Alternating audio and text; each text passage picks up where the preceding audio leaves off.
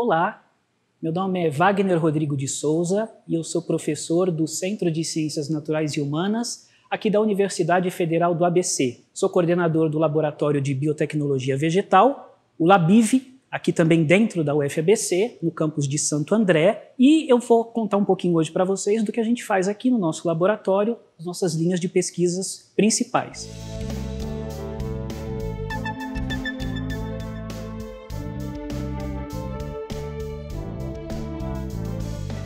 Então, a primeira delas, que é a modificação genética da biomassa vegetal, ela envolve principalmente o conceito de etanol celulósico. Como é que se produz etanol nas usinas? Né? Hoje, nas usinas, o que a gente é, usa é basicamente o etanol de primeira geração, que a gente chama.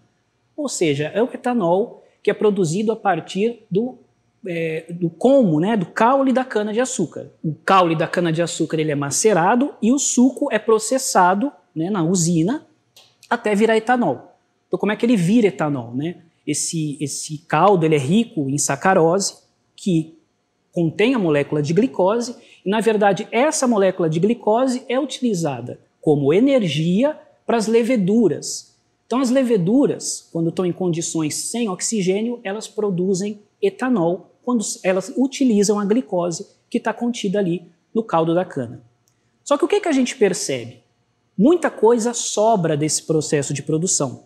Sobram as palhas né, da cana-de-açúcar que é, é, é, é, colhida, sobra o bagaço do caule, que a gente chama de bagaço de cana, e o pessoal percebeu que desse bagaço e dessa palhada, que é a biomassa vegetal, a gente também pode produzir etanol. E esse etanol ele é chamado de etanol de segunda geração ou etanol celulósico. Não é tão simples produzir etanol de segunda geração. Por quê? Porque essa biomassa vegetal, a palhada e o bagaço, eles possuem basicamente é, açúcares.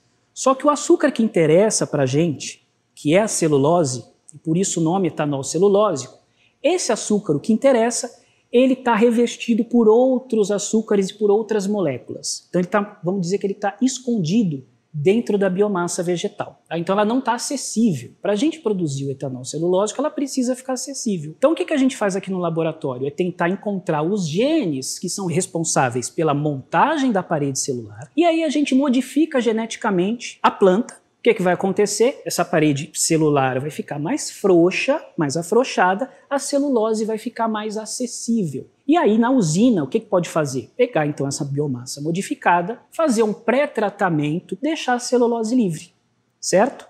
Depois dessa celulose livre, a ela são adicionadas enzimas que cortam a glicose, que finalmente pode ser utilizada pela levedura para a produção de etanol. Uma segunda vertente da nossa linha de pesquisa aqui no LabIV diz respeito à produção de biofertilizantes.